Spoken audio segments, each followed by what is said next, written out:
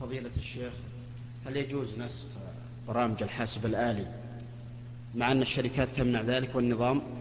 وألا يعتبر ذلك من الاحتكار وهي تباع بأسعار غالية؟ وإذا نسخت تباع بأسعار رخيصة. وش القرآن؟ برامج الحاسب الآلي عموما. القرآن؟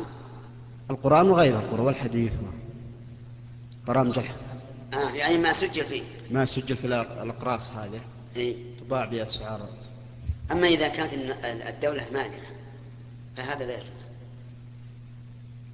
لأن الله أمر بطاعة ولاة الأمور إلا في معصية الله. والامتناع من من من تسجيلها ليس من معصية الله.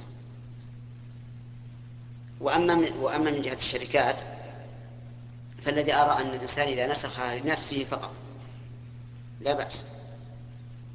وأما إذا نسخها للتجارة فهذا لا يجوز.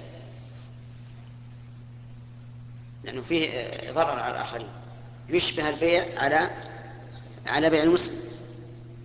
لأنه إذا صار يبيعون مثلا بمئة ونسختها أنت وبعتها بخمسين هذا بيع على بيع. بيع على بيع أخيك.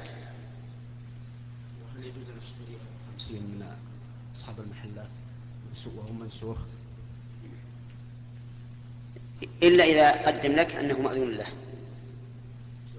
وأما إذا لم يقدم فهذا لا تشجيع على على الإثم والعدوان. لا لم يؤذن له جزاك الله خير وإذا كنت أيضا لا تدري. أحيانا الإنسان ما يدري.